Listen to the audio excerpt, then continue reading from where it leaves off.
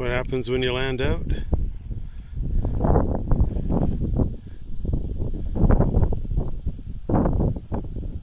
Alex has got to come and get you.